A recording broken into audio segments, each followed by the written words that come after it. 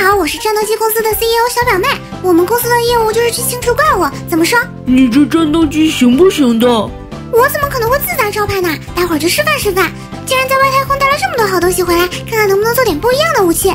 就这个荧光球，对生物可以使用附加荧光 buff，有个啥用啊？刷上一些晚上见分享。不知不觉这么快就到晚上十二点整了。前面有只长毛猎手，用荧光弹丢过去。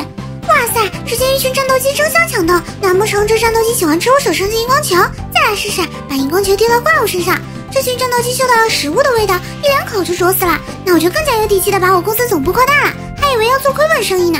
我的地盘最大也就只有二十乘二十左右，所以我决定用荧光块继续扩大我的地盘。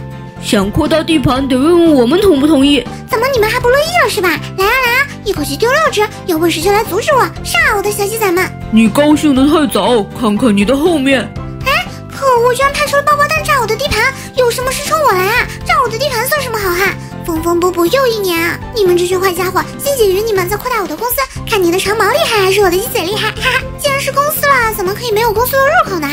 铺一个长长的荧光大道，直通我的公司总部。天终于亮了，怪物也撤退了。你看前后的大道都给我铺好了，一直到达我的战斗机总部。怎么说，小伙伴们？长毛和野人算什么？有本事就去地狱挑战熔岩两兄弟啊！这可是你说的，待会儿啪啪打脸啊！我这就在地狱那儿开多个分公司。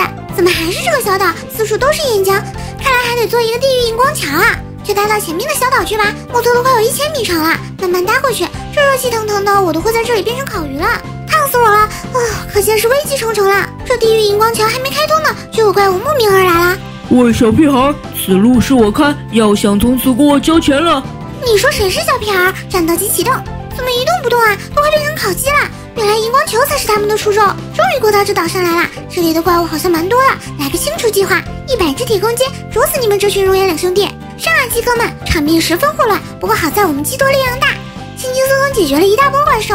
这怎么还有两只啊？剿灭他们，一击一口把他们往火坑里面推。又来一大波熔岩两兄弟，气势汹汹的走过来，看来他的目标是想去我的主世界了。不过地狱荧光桥还有另外一个名称，就是奈何桥。就这么多的堵桥机，还想过来？先留下一堆经验再走吧。哈哈，现在就让你们这群熔岩巨兽试试泡在岩浆里面生不如死的感觉呢。怎么说，我的战斗机公司也不是吹牛的。